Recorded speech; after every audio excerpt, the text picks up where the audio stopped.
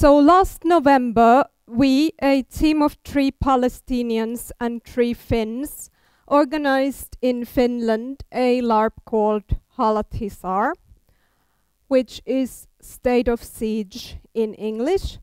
And um, it was set in, in an alternative reality setting where Finland was under military occupation much in the same way that Palestine is occupied in the real world. And um, by the way, all the photos that you will see in this presentation are by our magnificent LARP photographer Tuomas Puikkonen. So we wanted the game to really be about Palestine, not about some stereotypes that the Nordic players might have about occupations or life under occupation. So we created this alternative history where the situation of Finland, history, politics, so on, resembled that of real world Palestine. And uh, here, when doing this, of course, the Palestinian organizers played a crucial role. Uh, just to give an example, I myself probably would not have dared to write um, extremist Finnish characters, um, also because we had Palestinian players in the game and I would have started considering how would they feel about this. But however, our Palestinian organizers wanted to do this. They wanted to have, for instance, these uh, fundamentalist student politicians inciting terrorism and stuff like this. And uh, when we were creating the game world, we had to analyze uh, differences and similarities between the two contexts, the Palestinian one and the Finnish one, to find possible connection points to build the world. So for instance, uh, to look at history, uh, the historical Palestine, which is the land area that now consists of Israel and the occupied Palestinian territories, was under British mandate until 1948 when the State of Israel was founded and the area was ethnically cleansed from its uh, indigenous population. On the other hand, Finland was part of Russian Empire until 1917 when it became an independent state. And um, here we created this alternative history where the Russians played the role of the British colonists and where Finland never became independent, but instead a fictional state called Uralia was um, founded on Finnish soil and it of course played the role of Israel. Um, so in the game, most Uralian characters were supporting cast, uh, soldiers and so on. But for instance, we also had a Uralian human rights activist who had decided to come to the occupied territory to live together with the Finns and to protect them and um, uh, report human rights violations as some Israeli activists actually do in real life. Uh, so one of the points where this analysis of similarities and differences had to be carried out was nationalism, because uh, nationalism always plays an important role for people living under occupation, and the Palestinians are um, no exception in this respect.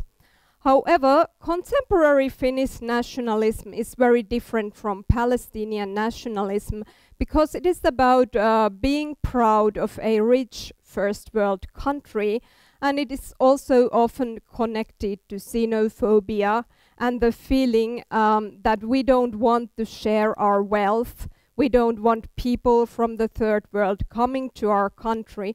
So we had to really uh, consider carefully how to treat nationalism in the game.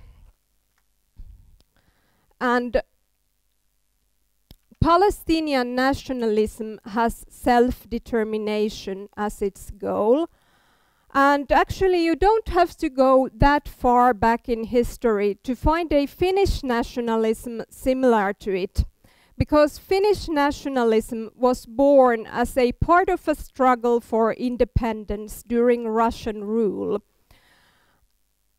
And there, for instance, when you look at um, traditional Finnish nationalist songs, you can see it very clearly.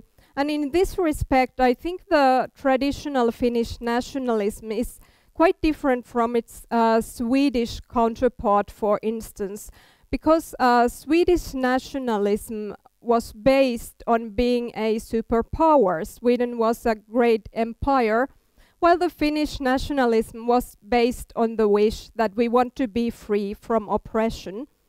And we could, uh, this can be seen very well when you look at the lyrics for traditional Finnish nationalist songs, because there you find they're uh, built on this sentiment that we're miserable and our land is very miserable. It's poor and barren, but we love it anyway we will develop it and even if our life would be much better in some other place we will never leave we will stick to our land and this makes us tough and um, these sentiments fit the game world very well and they helped us create the right atmosphere and uh, also take the necessary distance from the uh, present day real world nationalism.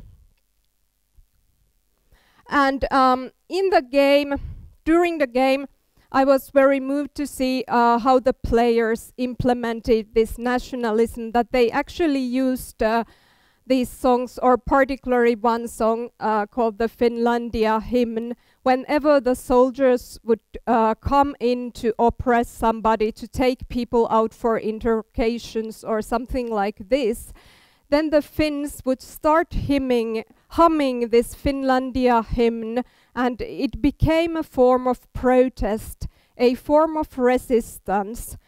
And also there were uh, other protests, there were demonstrations with Finnish flags and uh, silent vigils also with Finnish flags that took place uh, during the game, that emerged during the game.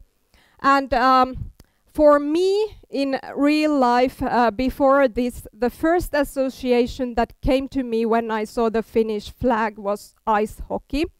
And in the game, I could see that uh, this symbol, the flag, had become a very different symbol indeed. It had become a symbol saying, look, we exist.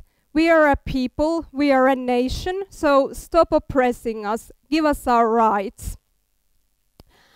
And once uh, a Palestinian told me that when you're living under occupation, you constantly feel that your whole culture and therefore your very identity is constantly under threat because the occupiers get to decide how it's talked about.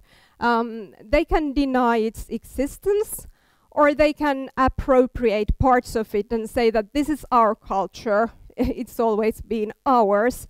And I think in the game, um, the players started probably thinking differently about their own nationality and thinking about this alternative setting where they their culture is under threat, much in the same way that the Finnish culture actually was uh, somehow under threat during the Russian rule in the 19th century. And I think this um, this really helped the players somehow to understand better this um, whole context on an emotional level. So, so thank you.